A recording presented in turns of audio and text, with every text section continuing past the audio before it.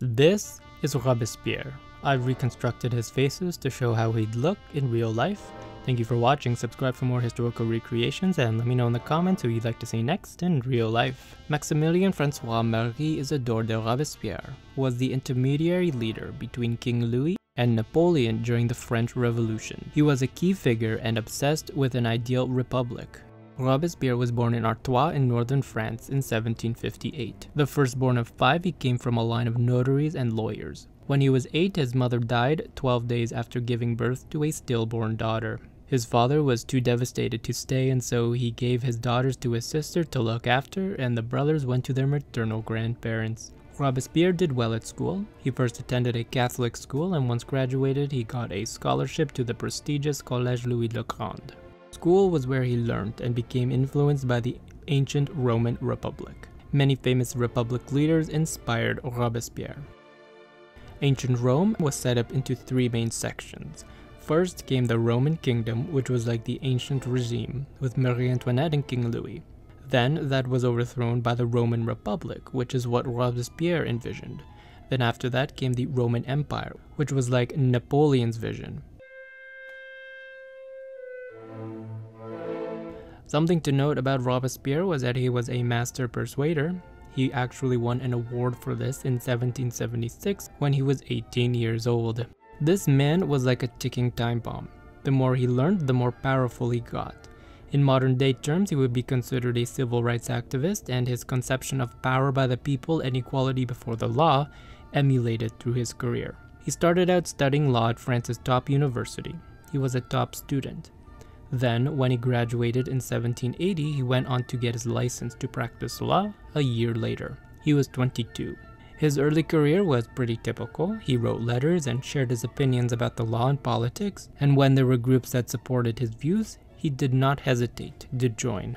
This gave him momentum, and when the revolution arrived, Robespierre was all ready to support the storming of the Bastille and the march on Versailles.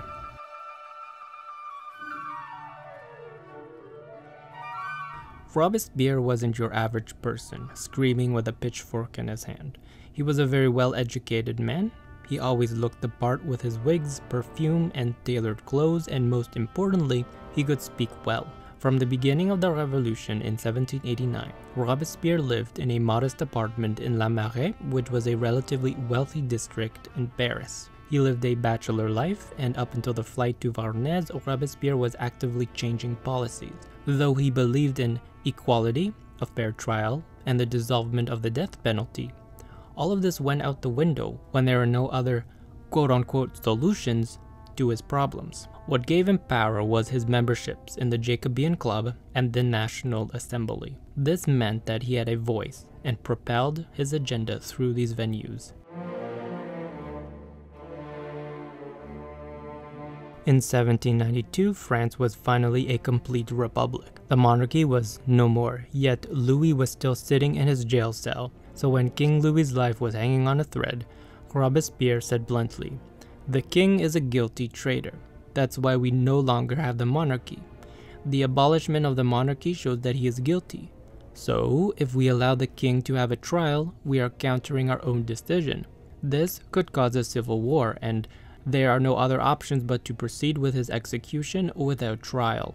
Furthermore, he stated that putting the king in exile would bring unhappiness to the people of the republic. He said, If the king is on another island, he is either guilty and alive, which makes people upset, or he resembles the old way of life, which threatens the republic.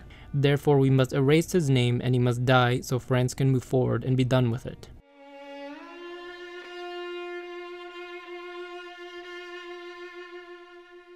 On January 14, 1793, the king was unanimously voted for conspiracy and attacks upon public safety. The convention debated on a sentence, which Robespierre pushed to ensure the king's death.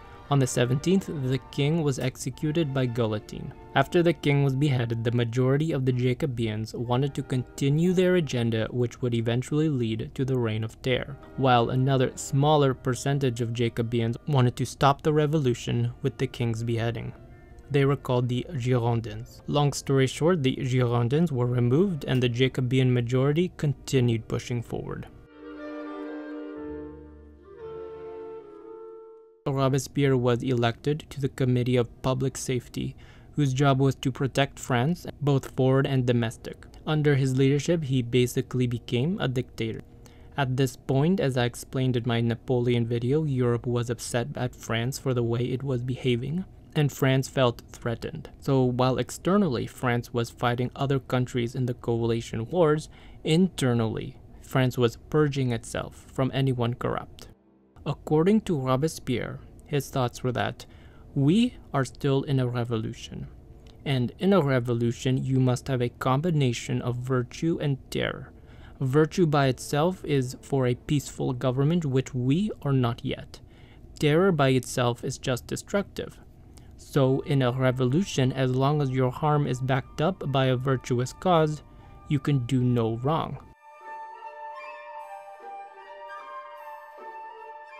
This led to what we know as the Reign of Terror. It was from 1793 to about 1794, and during this time, anyone who was suspected of helping a possible foreign invasion or dissolvement of the Republic were enemies, and all enemies were to die. More than 50,000 suspects were killed for counter revolutionary activities. They called it crimes against liberty. Though there were a lot of famous people dying, there were also a lot of poor people and clergy too. This escalated when the Law 22 was enacted which pretty much allowed anyone to die without trial. Your neighbor could report you today, and tomorrow you could be dead. Executions were about three a day, and when the new law came in, it increased tenfold. It worked on momentum and became out of control. In June 1794, Robespierre was unanimously elected for the National Convention and became leader of the people. At this point, Robespierre was out of control. Anyone who didn't share the same views were conspirators and he branded them as such. This led to other leaders getting accused themselves of treason, and so they band together and said, This is dangerous. They imprisoned Robespierre a month later in July. Robespierre tried to commit suicide, he failed, shattering his jaw, and then he was put to the guillotine the next day. His followers were also executed and it put an end to the reign of terror. The Committee of Public Safety lost its power and another government body called the Directory replaced them. They were less radical and more bourgeois, however they weren't successful, and this led to Napoleon staging a coup.